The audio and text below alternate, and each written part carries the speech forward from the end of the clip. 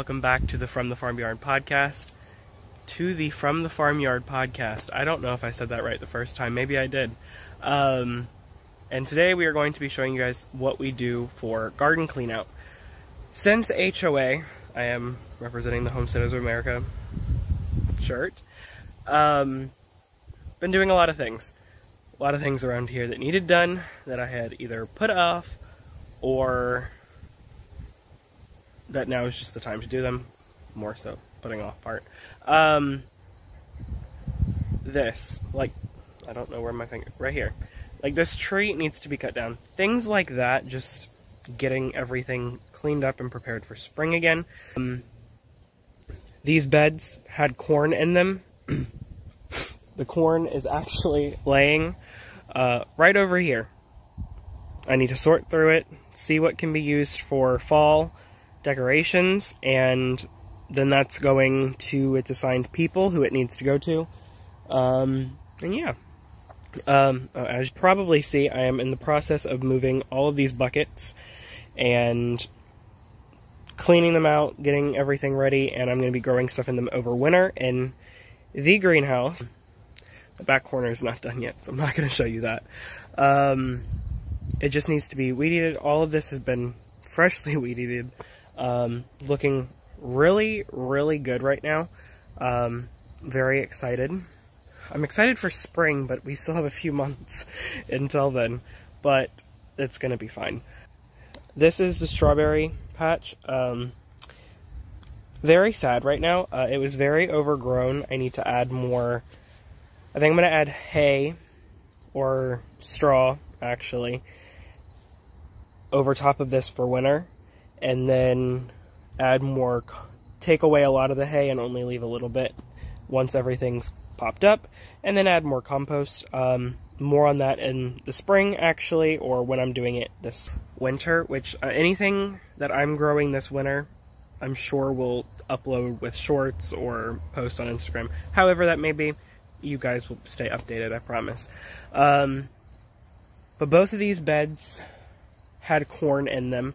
I'm going to try to do greens in them, succession, so, um, succession planting with the greens, and let's hope that that is good. I need to add a little bit more compost to both of these, maybe one wheelbarrow full um, to each one, and then that will be my overwintering, or getting everything ready for winter. I don't really do a lot. I know, well, I won't spoil anything that Reagan has that she's going to say. Um, we don't know how this is going to look right now, but I won't spoil anything. I'll let you see what Reagan does. But I don't do that. A lot of people do.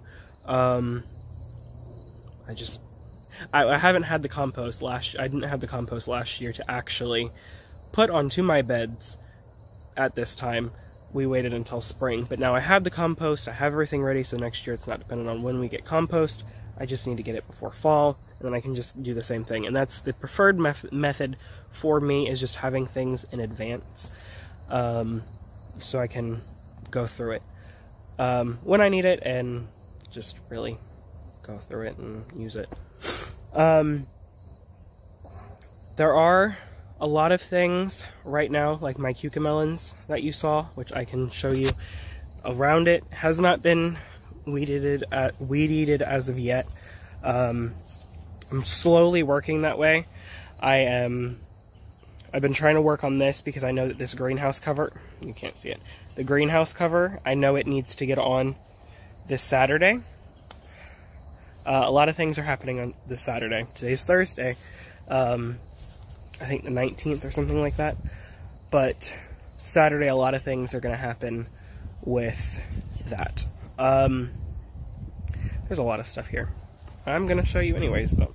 Well, I'll show you some of the better, the better looking side to these cucamelons. Um, the underside.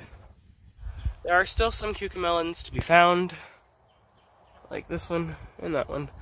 Um, but yeah, these guys are still going strong. I'm not going to tear them out when they're still producing and I can still get pickles and thing and still make pickles with them. It's just not if something's still producing and you still have time, like I couldn't plant anything else right now and still get a harvest. I'm getting these, I can put up enough cucamelons to do, or enough pickles to have enough for all winter and into next year, and probably enough to take us until we're making pickles next year and even then some. We don't really eat a lot of pickles. Um, haven't I don't really like pickles, but I do want to try these uh, cucamelon pickles. But it has been a work in progress with getting everything. Like I said, um, topping beds off. I, I, just want everything ready for spring. Um, it's really dependent upon how this greenhouse looks. Um, and again, I don't know how it's going to look. But we have a few things that are still growing. Um, I've learned a lot this year, actually, which just isn't the video for that. But I've learned a lot. And it's really so great when you can sometimes I mean getting away sometimes is good because you can get away and come back fresh mindset all that HOA was a good place for me to start with getting everything with coming back and saying hey this needs done this is the next thing that needs to be done or it looks like this now let's just knock it out and get it done with and it's been nice outside I've wanted to be outside and yeah this is my perfect opportunity before it gets too cold I'm not out here a lot but things like this, just going all around the property, um, cutting trees down. This is one year's growth. This was in here last year. I don't think. I don't believe so. I think it's one year's growth. And then just preparing beds, which, like I said, a lot of my preparing for winter, preparing my garden for winter is putting the greenhouse cover on, being able to grow greens, uh, through the winter it gets cold enough to kill them here so they need to be protected and this for me is just the best way to make sure that they don't get um, frostbitten. Doing that putting hay on the strawberries um, is a maybe I have another area out here but we still have things that are doing as of right now we still have things that are doing fairly good um, I'm going to be doing carrots and I have some potatoes that are still do that have reseeded. I'm working on all of that. Um, trying to figure out what needs to go where, what needs to be put up for winter, what needs to go in in certain areas. But tomatoes are getting pulled out. I'll show you guys the tomatoes. I didn't show these in the garden tour that I did. There are chickens everywhere. But this is what my tomatoes look like right now. I need to take them down. I actually don't take the trellis down, but I do need to remove the dead vines from them, and I have a new system that I'm going to be trying next year with the tomatoes. I'll share more on that. I'm sure we'll share more on, um, we'll share different ways to do things, different things that we've learned, and yeah. But I'm going to get all of this put out, uh, cleaned out. I'm going to forget what I'm going to do. Get all of this cleaned out, add more compost, mix everything in, and then this will be all set for next year. I don't need to worry about any nutrients leaking out because nothing's going to be growing in it. It's things like that that make a big difference. I am going to take out not really like the whole top layer of soil, but I am going to take out a decent amount because I've had tomatoes drop and things like that. So really just from like here over, I'm going to take out a bit. I've been going through and weeding all of my spaces. First off, because they need, they, they weren't that bad. They needed to be weeded, yes. Could it have waited? It could have probably waited, but it's better just to do it now. This space I consider these beds. So every time that I'm referencing something, if I don't specifically say kiddie pool and I say garden beds, this is what I mean. Uh, by garden beds as uh, uh, as well as the other spaces. These the peppers are still producing. Peppers. There's a few peppers on there. Things like that. Um, we have the kiddie pool, whatever. And I will, uh, well, I do want to mention this now. I have mentioned it in the garden tour. So if you haven't watched that, go watch that. And then this will take you to like two days after that garden tour. But it is a lot to figure out, especially when you're doing kiddie pools. There are crickets over here. It's a lot to figure out with the garden tours and things. Or not with the garden tours, but figuring out. My mind went elsewhere. Um, a lot to figure out when you're trying to gauge what you're doing with the um, kiddie pool growing. I am going to be doing a video on my channel. Plan right now is to do a video on my channel um, explaining more in depth what I've learned, and we will probably do a short here or a blog post. Stay tuned for that. Uh, that will be announced actually way before this, but we'll have a blog post on it and things like that. But making sure that you have enough soil in your kiddie pools is a big deal. I learned that the hard way. I had sunflowers that were growing really well in one of the bet or in one of the kiddie pools with the peppers, and didn't do awful. I didn't plant any big sunflowers like the 14 footers or things like that because I knew it wasn't going to. I mean, there wasn't enough soil to support that, and I knew that, and it wasn't going to grow to the bottom. I did not gauge for enough soil in them so I am going to make sure that those are topped off, not maybe not first, because I have the tomato bed, the other bed, and I would like to get one wheelbarrow full in each of these, as well as the strawberry one, just because those are predetermined spaces, or spaces that have already been handled with for more than a year. Um, the kiddie pools, though, I need more soil in those, and that's really just going to depend on what I have to spare. Um, of course, the bigger ones are going to hold priority. The little ones, I can maybe get around it. I don't want to do that, but I might be able to get around it. And I know I'm getting more compost next year, but just so I can go ahead and get things planted, I would like to have certain elements done so I can get more harvest in and I'm going to be a lot better with succession planning and things like that next year.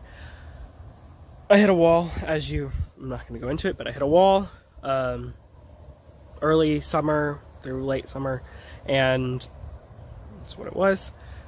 That's how I, a lot of things turned out not good this year in the second half, but it was a good year, but also the weather just played a really big part in it as well.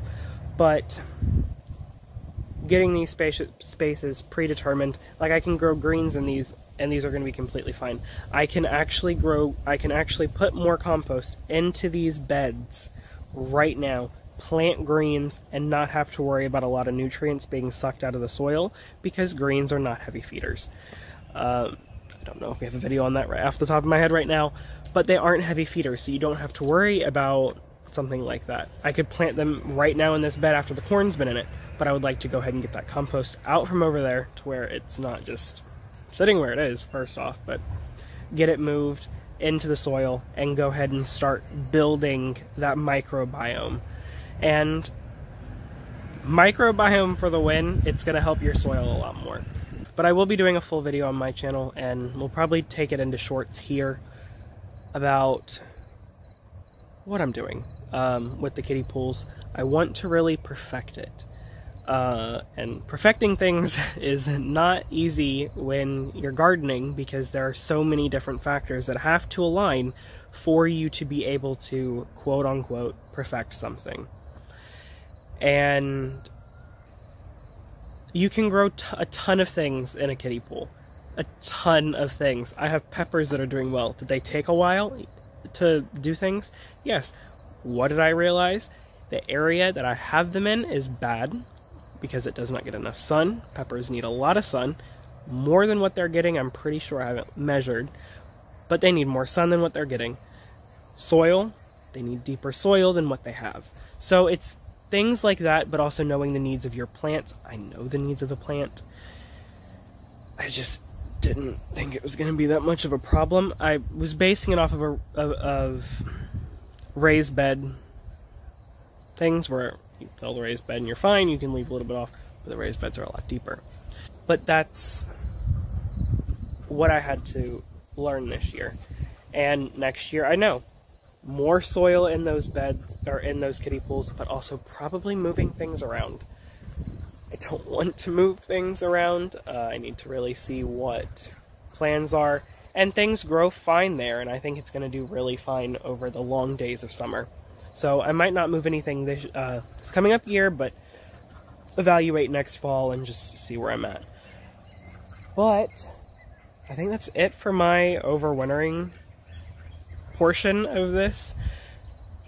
I am not going to do anything with the buckets, really. Um, I've really mentioned it. I'm going to be growing some some food over the winter with carrots that'll be harvested in February or March, right before I'm planting my potatoes and stuff like that. I feel really recharged, and since I am growing on such a small space, there's only so much that I can do.